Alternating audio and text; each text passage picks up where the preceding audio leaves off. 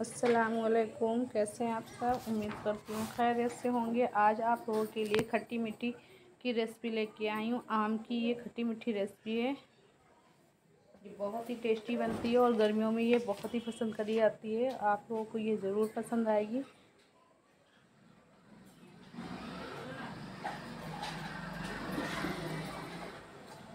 बच्चों और बड़ों को सभी को बहुत पसंद आती है ये आम की खट्टी मीठी लौंजी या चटनी कह सकते हैं आप इसे। और आप अगर हमारे चैनल पर नए हैं तो प्लीज़ सब्सक्राइब कीजिए, लाइक एंड शेयर ज़रूर किया करिए। चलिए बनाना स्टार्ट करते हैं। ये मैंने हाफ़ के जी आम ले लिए हैं, ये कच्चे आम हैं, और इसे मैंने इस तरीके से छील के, स्लाइस करके काट लिए हैं। आप चाहें जिस आकार में काटना चाहें, उसमें काट सकते हैं। मैंने देखिए इस तरीके से काट लिए हैं और सब गुटली को भी इस तरीके से अच्छे से काट लिया है। और ये कच्चे ही आम लेना है और कच्चे ही आम लिए जाते हैं। इस तरीके से, ये देखिए गुटली को मैंने इस तरीके से भी काट लिया है। अब ये मैंने कुछ स्पाइसी मसाले लिए हैं। ये मैंने कलौजी ली है वन टी स्पून सौंप ली है टू टेबल स्पून जीरा लिए है वन टी स्पून और एक तीन से चार सूखी हुई लाल मिर्च ली है और एक लहसुन की आड़ी ली है। अब इसे ड्राई रोस्ट कर देना है। अब इसे ड्राई रोस्ट ये इस तरीके से हम ड्राई रोस्ट कर लेंगे। जब तक इसमें अच्छी सी भीनी भीनी सी खुशबू ना आ जाए, जब तक हमें इसे ड्राई रोस्ट करना है, बहुत अच्छे से ड्राई रोस्ट करना है। जब तक जब ड्राई रोस्ट हो जाएगा तो इसका फ्लेवर उसमें बहुत ही अच्छा आएगा। और इस लहसुन के जबे को हम खोल लेंगे और खोल के इसे ड्राई रोस्ट कर लेंगे। आप चाहें तो इसका छिक्कल भी उतार सकते हैं बट मैं इसी तरीके से डाल रही हूँ। इसमें इसका फ्लेवर बहुत ही अच्छा आता है। ये देखिए, इस तरीके से हमने अच्छे से रोस्ट कर लिया है। इसे ये गोल्डन ब्राउन हो गया है और इसमें बहुत ही अच्छी सी खुशबू आने लगी। पूरे किचन में फैल गई है। अब इसे क्या करना है? एक प्लेट में ट्रांसफ़र कर लेंगे। ये देखिए, इसका कलर चेंज हो गया है और ब्राउन से हो गए, गोल्डन ब्राउन हो गया है। अब इसे प्लेट में ट्रांसफ़र कर लेते हैं और थोड़ा ठंडा होने देते हैं। फिर हम इसे ग्राइंडर में पीस लेंगे। इसे बहुत महीन पाउडर नहीं बनाना है। थोड़ा सा दरदरा दरदरा सा पाउडर बनाना है।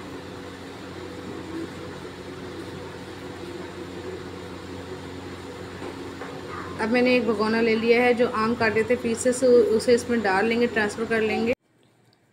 ये मैंने आम को इसमें ट्रांसफ़र कर लिया है। अब मैंने ये हाफ़ के जी गुड़ लिया है। मैंने जितने आम लिए थे उतना ही गुड़ लिया है और इसे अच्छे से थोड़ा सा तोड़ लिया है। छोटे छोटे टुकड़े कर लिए हैं। अब इसमें इसे मिक्स कर लेंगे।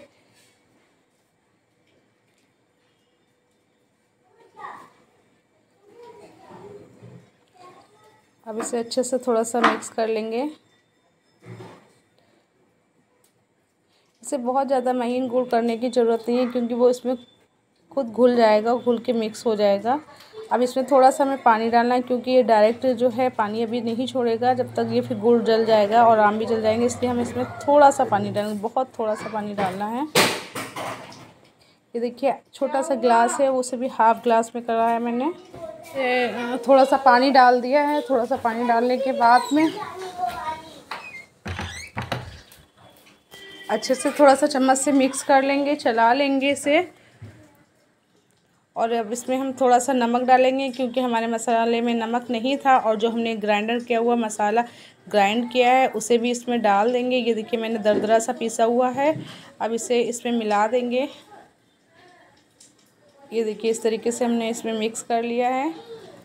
हमें इसमें कोई ऑयल नहीं डालना है, कुछ भी नहीं डालना है, पर इसका फ्लेवर और टेस्ट बहुत ही अच्छा है। अब हमने टेस्ट के अकॉर्डिंग नमक डाला है इसमें और अच्छे से इसे मिक्स कर लेंगे।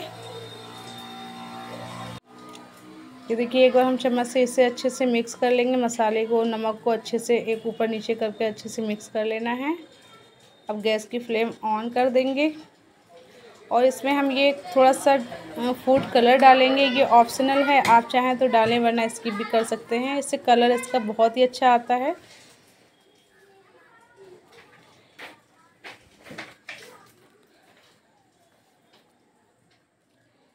तरीके से इसे डाल के अच्छे से मिक्स कर लेंगे। और ये देखिए मैंने पाँच मिनट, दस मिनट हो गए इसे पकते हुए। स्लो फ्लेम में ही इसे पकाया, बहुत हाई फ्लेम में नहीं पकाया लो टू मीडियम फ्लेम है और इसे बहुत ज़्यादा गलाना नहीं है।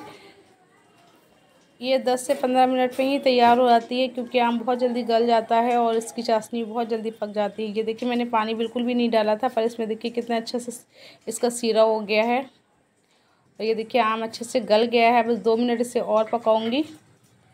ये देखिए, दो मिनट हो गए हैं। अब ये देखिए, मैं आपको काट के दिखा रही हूँ कितने आराम से ये कट रही है। बहुत अच्छे से ये गल गई है और ये हमारी लॉन्च तैयार हो गई है।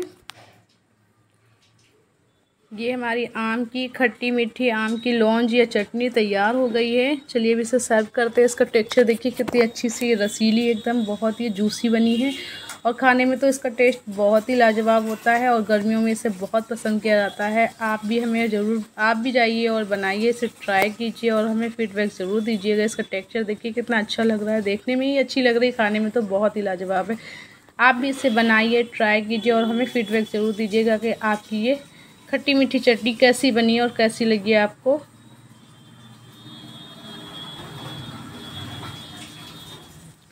और आपको हमारी वीडियो अच्छी लगती है तो लाइक एंड शेयर ज़रूर किया करिए और हमें कमेंट्स करके ज़रूर बताइए कि आपको किस तरीके की वीडियो पसंद है और कैसी रेसिपी पसंद है। तो मैं आपके लिए वैसी रेसिपी ज़रूर लेके आऊँगी।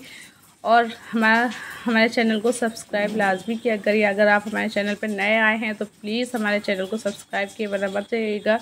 और वीडियो देखने के लिए थैंक यू अल्लाह हाफिज़। अपना बहुत सारा ख्याल रखिएगा।